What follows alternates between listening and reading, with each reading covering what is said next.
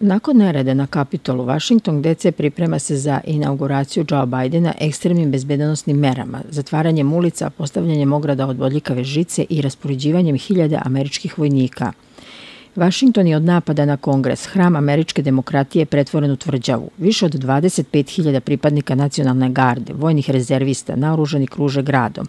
Postavljene su žičane ograde i betonski blokovi kako bi se zaštitili spomenici kao što su Bela kuća i Kapitol ili kako bi zatvorile glavne saobraćajnice. National Mall, velika poljana koja vodi od Lincolnovog spomenika do Kapitola, bit će zatvorena za javnost. Onda se stotine hiljada Amerikanaca tradicionalno okuplja kako bi pozdravili novog predsjednika. Umjesto toga postavljeno je gotovo 200.000 zastava koje će predstavljati građane koji ove godine neće moći da dođu. Američka policija upozorava da su prednje novih oruženih napada grupa krajnje desnice realne. Biće na velikom oprezu tokom cijelog istorijskog dana.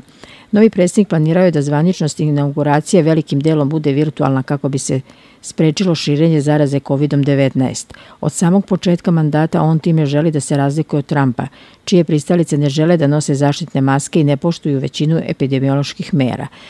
Biden će naklon polaganja zakletve držati tradicionalni govor u kojem će staviti naglasak na pomirenje Amerikanaca.